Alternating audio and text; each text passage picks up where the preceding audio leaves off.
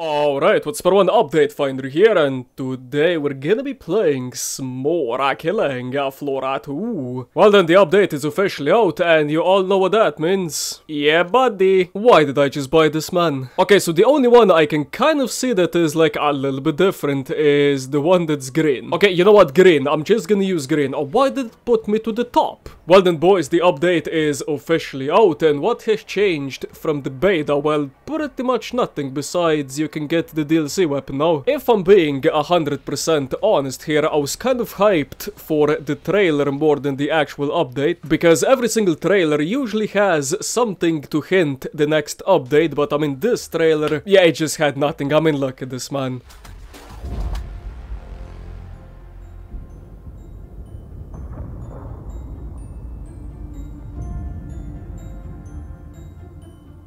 Oh, chestnuts.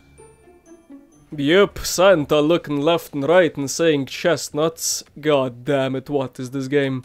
I mean, I could just go like on and on on why I do believe this update is actual wank, but I mean, it is still an update after all, boy. Our first shot was a freaking slow motion shot, well that's what we love. Boy.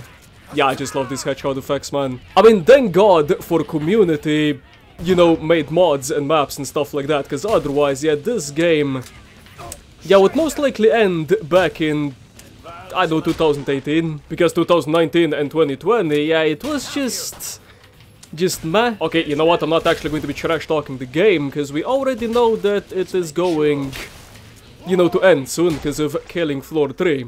I mean, hopefully, man, I mean, if it's not gonna be Killing Floor 3 and they're just gonna make, like, something different, yeah, I'm gonna be genuinely upset, boy.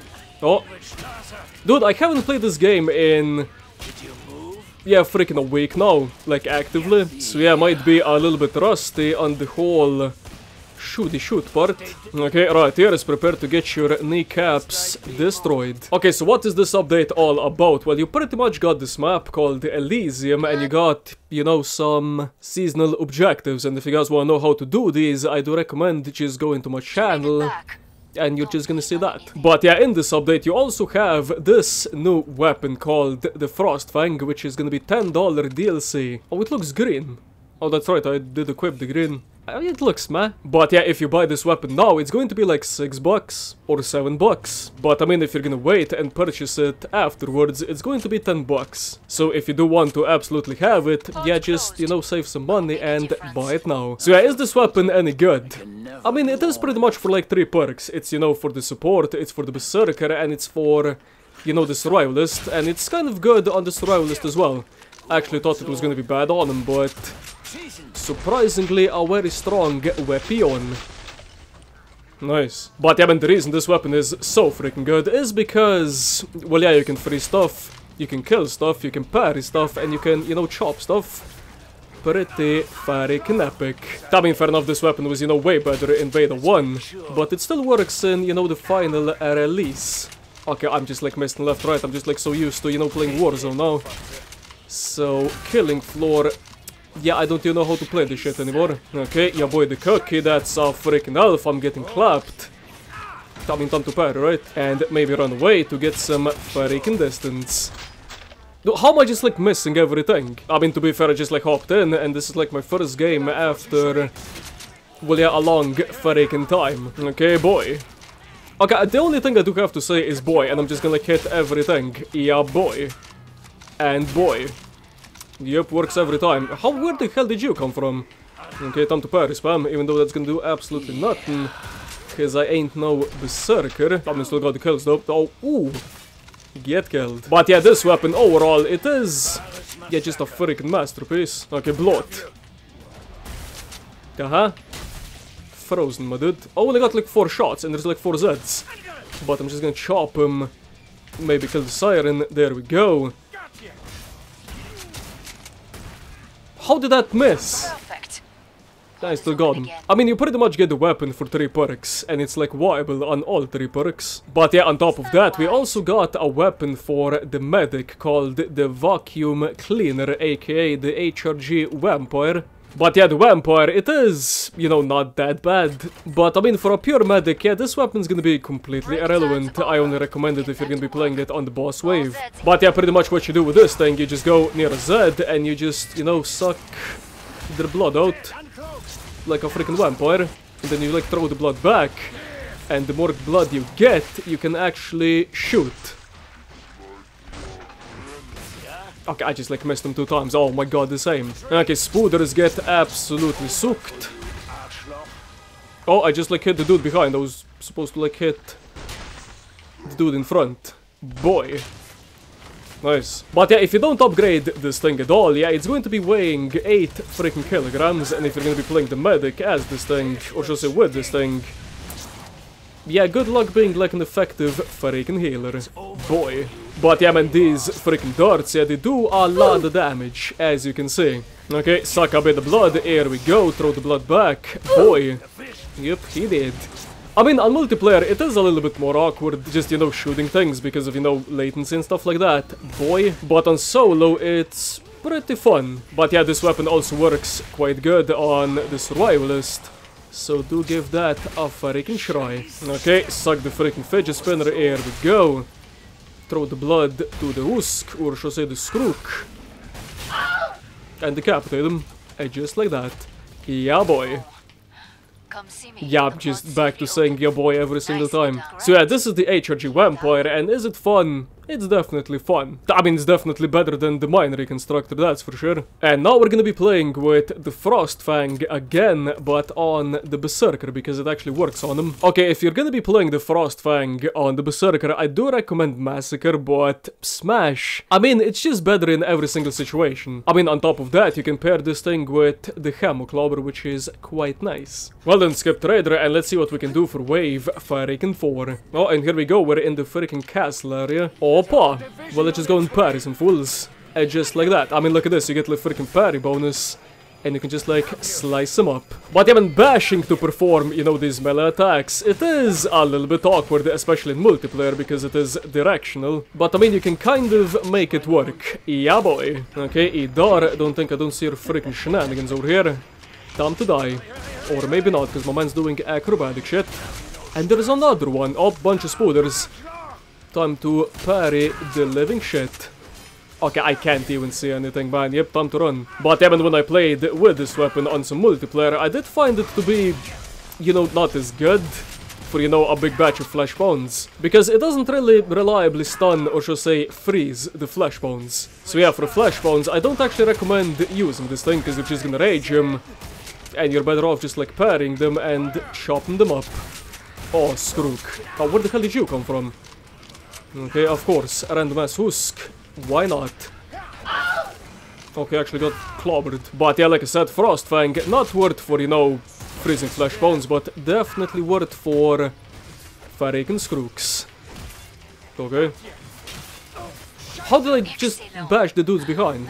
Oh, and speaking of Fleshpounds, while I get casually launched, here they come. Okay, I'm getting like multiple freaking Fleshpounds. Yep, here they come. Can I away them somehow? Maybe? With this here, oh, he's still rage. Oh, there's a freaking Quarter Pound. Okay. I'm just gonna casually run away from the shit. Okay, can I actually freeze you? I mean, not really, but I can, you know, just kill you. Okay, get close, let me just parry you up. Here we are. I mean, you can kind of freeze him, but it's very inconsistent and situational. Yep, that Scrake got clapped. Oh, uh-huh. But yeah, this weapon definitely fun and you can do some epic stuff with it. So yeah, I would definitely recommend it.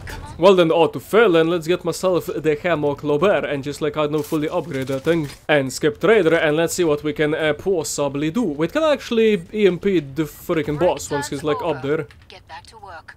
More Zeds inbound. Yes, I can. But yeah, the boss always spawns here for some reason, I don't know why. But he does. Oh, why did you just do a machine gun? Okay, but yeah, man, Patriarch, yep, this dude is, yeah, definitely easy to kill, especially with the Frost Frostfang.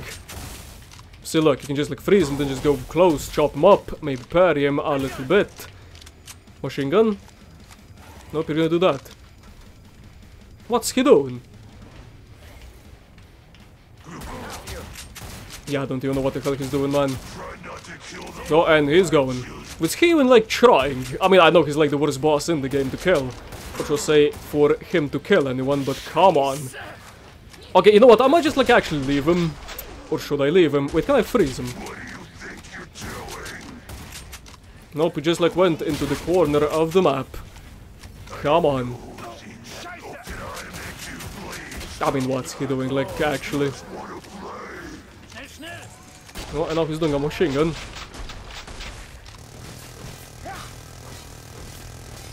Yeah, poor Patriarch, man. I mean, this is what you can do to him on multiplayer. What a sad fucking boss. Ow.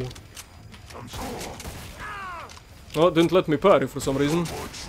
Which he's frozen. Nope, he's going away. Okay, so the only complaint I do have on this map is that, yep, ammunition is just not a thing. Not sure why. But I mean, sure. I mean, you do get like an ammo box here and there. Nope, he's got machine gun out. Just run sideways and we should be good. Then here he comes. Oh. Oh. Oh, come on, man. Yep, is, is that actually what you're gonna be doing? My man.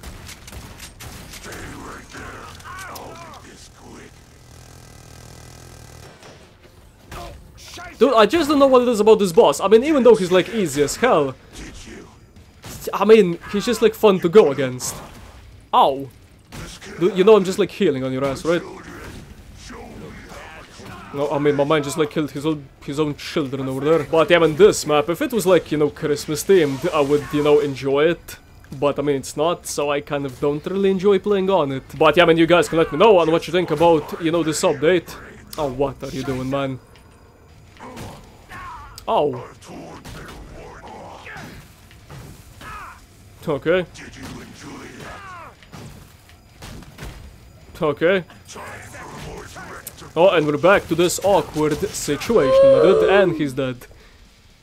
Yep, this was like the easiest boss battle of my life. I mean, this dude's actually easier than the Abomination, and that's like saying something. But yeah, overall, for me, okay, what the this animation?